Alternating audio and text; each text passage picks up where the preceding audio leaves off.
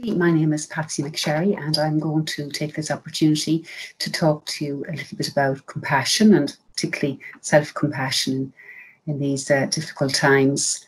Um, a little bit about what gets the way, what gets in the way of, of being compassionate to ourselves, and then a little uh, tool, a mindfulness tool, in order to help us overcome, I suppose, the obstacles to our self compassion. So I've got a little presentation um, if you bear with me, I'm going to uh, share with you.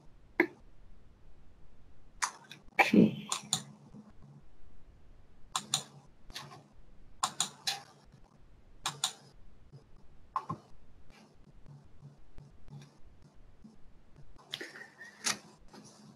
Okay, so um, self-compassion.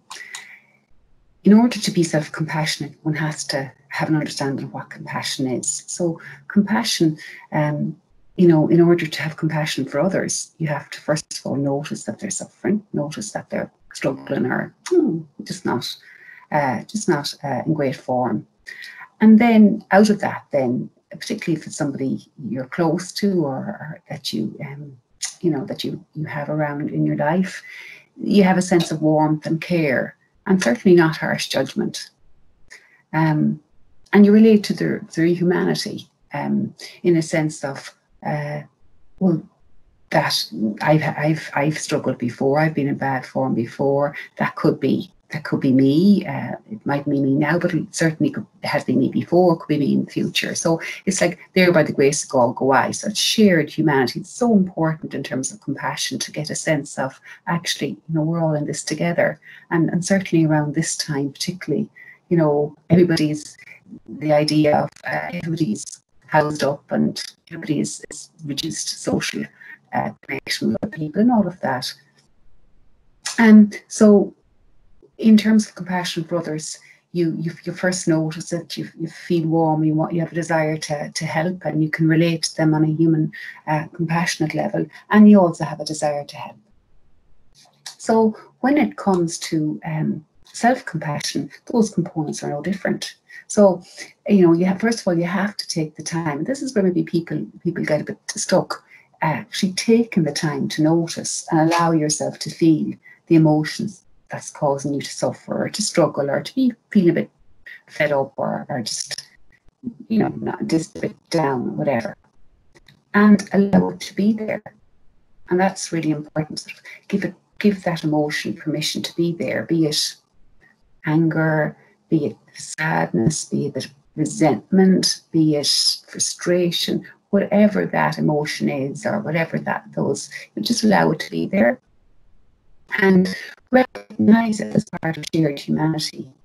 Um, you know, um, again, a bit like if you have compassion for somebody else, so recognize the human, you know, the humanity within that. Recognize the humanity in your in your in yourself. This is the price I pay, I pay for being a human being. Struggling is all part of the package. Um, you know, and and you know what I would urge a good friend to do, or what I would, how would I, how would I, what kind of feelings would I have towards a friend who was who was feeling like this, um, and then you know give that give that type of friendship and compassion towards yourself. So, and you know, some people say, well, okay, well, actually, it's really important that I look after everybody else's needs, be compassionate to everybody else, and then, you know, what works it doesn't really matter about me as long everybody else is okay. And that's, you know, that's that's a bit of a it's a misnomer, really. It's not it's not possible because it's like, you know, they talk about drawing artificial la- lines in the sand. We say, well, we're compassionate to other people, we're actually compassionate to myself. That really isn't true compassion because in order to be truly compassionate to other people, you have to serve yourself and to actually experience and feel and feel that shared humanity. And we're all in this together. We're all part of this this bigger um, universe of humanity. So remember to take the time to fill up your own cup. And uh, and that adage, you can't pour from an empty cup. If your cup is empty, then you need to kind of pull back a little bit and show um, and look at your own needs for compassion and show some compassion to yourself. And then you're much more able to be genuinely and truly compassionate to others. And so, some of the things that get in the way of self compassion, and there's a number of things I have listed here self criticism and self judgment, which is a huge one. Perfectionism, the need to be perfect and doing everything perfect, and be the good, be uh, perfect in what I do and perfect in uh, as a parent or whatever it may be, whatever your flavor of perfectionism is, and it comes in very in many different flavors. Um, and also coming from a place of not good enough or unworthiness. And again, part of that shared humanity.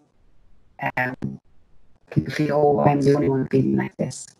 Absolutely not. There's so, so, at some, at some point in time, everybody comes from some element of not good enough or a sense of unworthiness.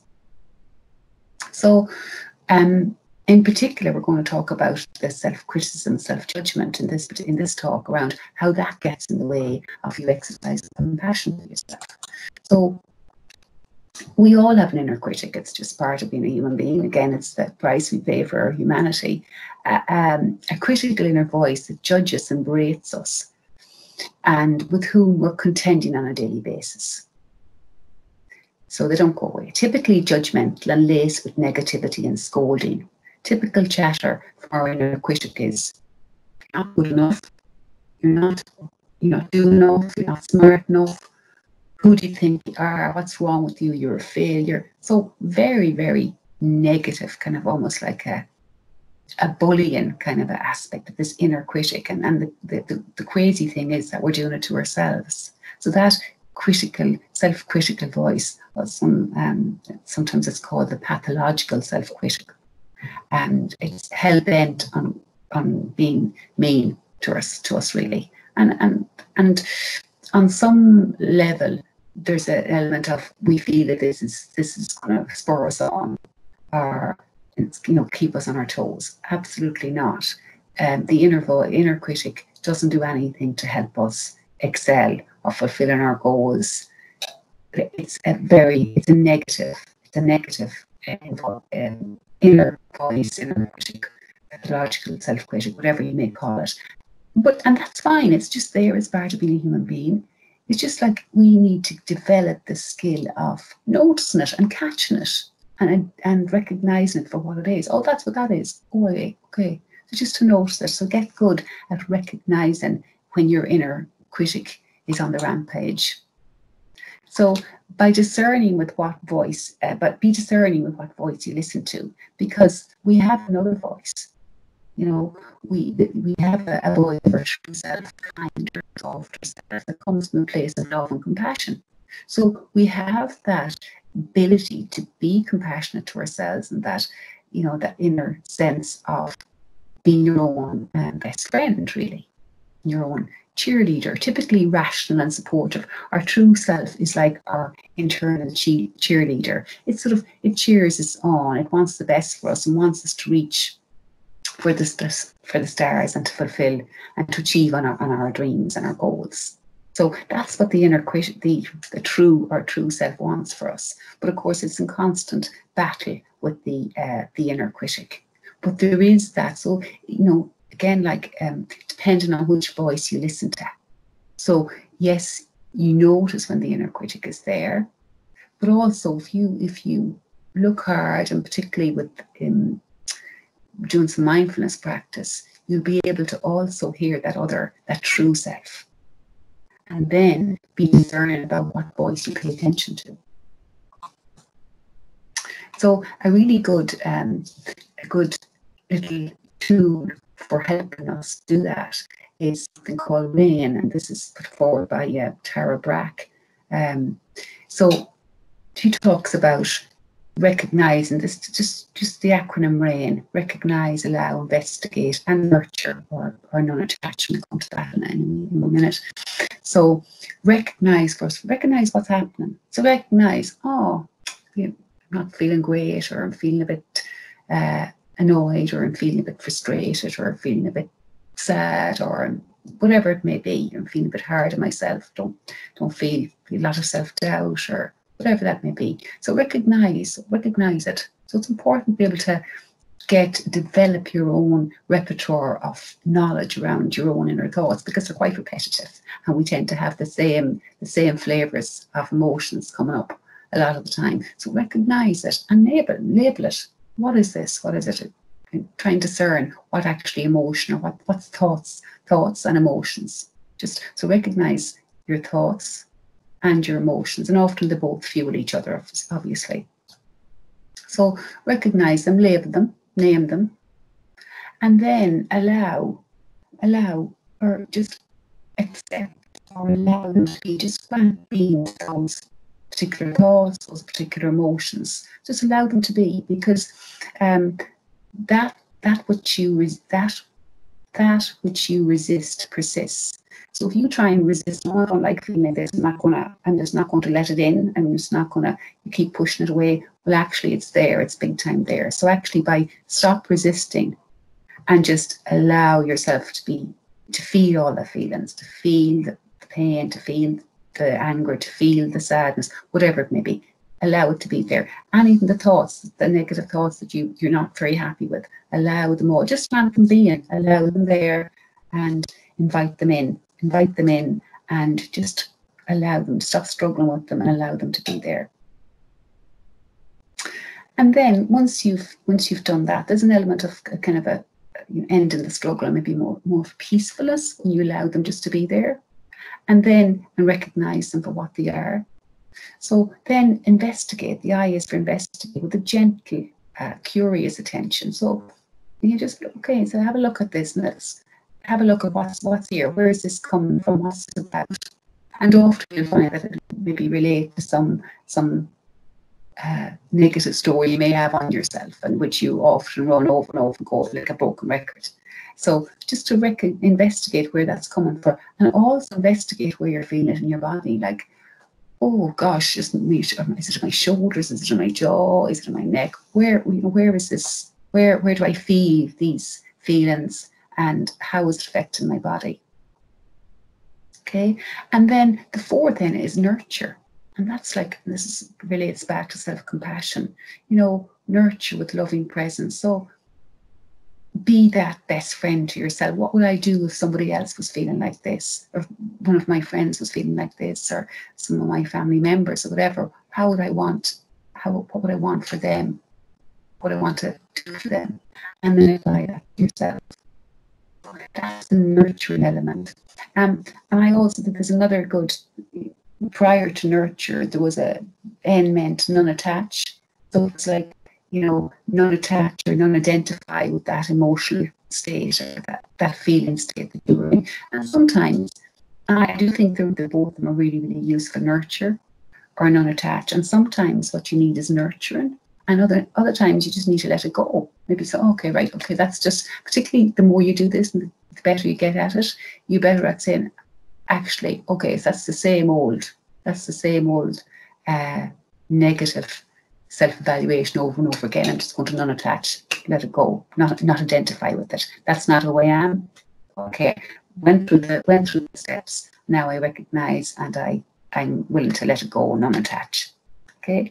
And other other times when when it's not, you're not ready to let it go. It's still there. It's still you nurture. It's like what can I do to nurture myself right now? Okay. And the more you get, the better you get at this, and particularly the repetitive kind of negative states, maybe you actually will will be more inclined to non-attach because you'd have done the nurturing and you'd have you'd have stayed in that space. Um, so then it's important that after the rain, so when you've done that, that we went through that acronym, um, it's important then to, to just recognize and to stay some time in that. And it's often quite a nice, peaceful state. It's a it's a kind of a, a compassionate state. It's a self-compassionate state, um, and it's a bit like the calm after the storm.